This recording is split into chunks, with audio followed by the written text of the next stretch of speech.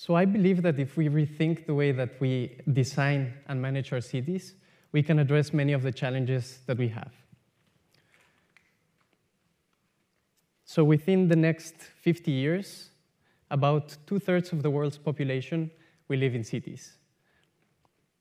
This shift is due to uh, a search for better economic opportunities and also from forced migration due to the degradation of uh, rural or agricultural areas. And so even today, cities are responsible for about 70% of the world's uh, greenhouse gas emissions. And further aggravating this problem is the fact that most of this urban growth will take place in the global south. So this means that cities without uh, proper access to resources and infrastructure will be receiving an enormous influx of people. So this is why it's very important that we learn how to keep the best aspects of cities while we minimize the ones that are uh, negative, that can be associated with them. And so for this, many researchers and policymakers are using different types of information, such as uh, government census, uh, satellite data, telecom data, all sorts of information, to build models that can help us to understand the implications of urbanization.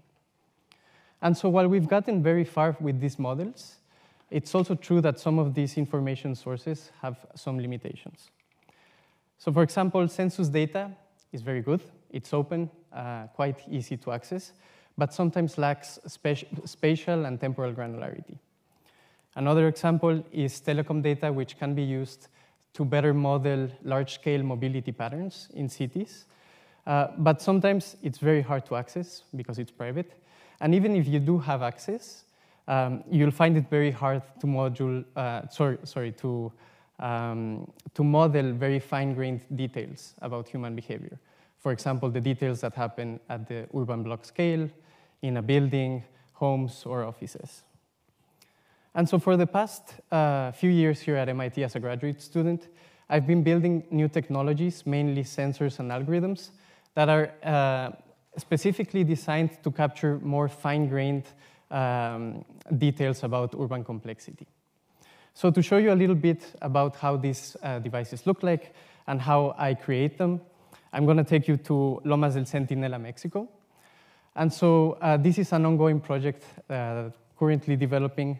Um, and so we're working in an informal settlement uh, called Lomas del Centinela. Informal settlements are areas in a city that uh, tend to lack typical access to infrastructure of electricity, water, or even food systems. So when we started engaging with this community, we quickly realized that water was a key priority for them. And so just to show you a little bit about uh, how water is, is sourced and the life of water within the community, it, it tends to look something like this.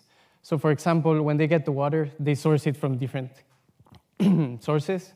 So for example, capturing it from the rain, sometimes uh, having it delivered through trucks, or sometimes even connecting to uh, formal infrastructure that they can find around their houses.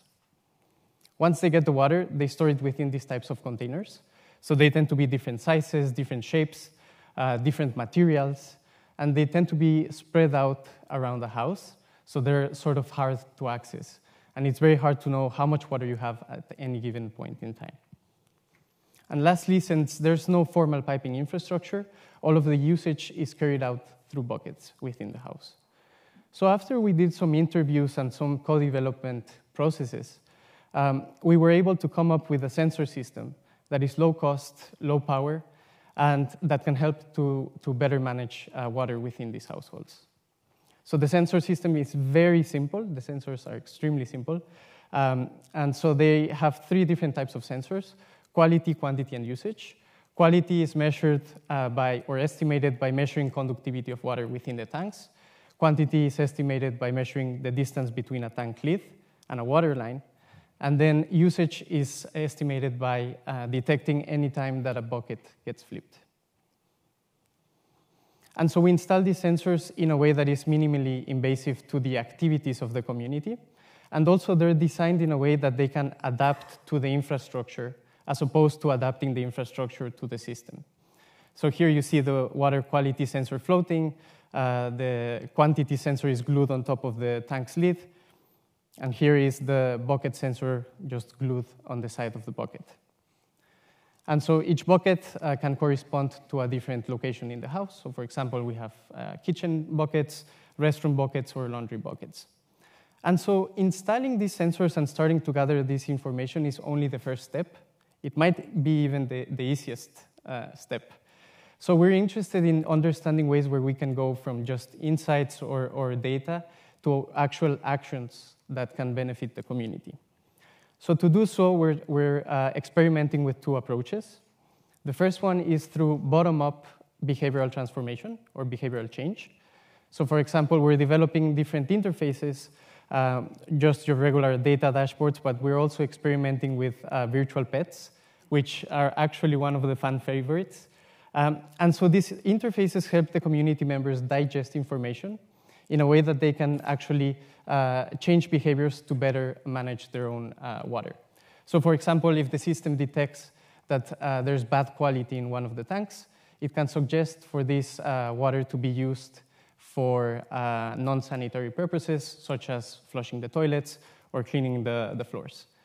Similarly, if the system detects that there's going to be a drought in the next two weeks, it might suggest uh, the household members to um, be more careful about water usage and maybe use that water for uh, only critical issues.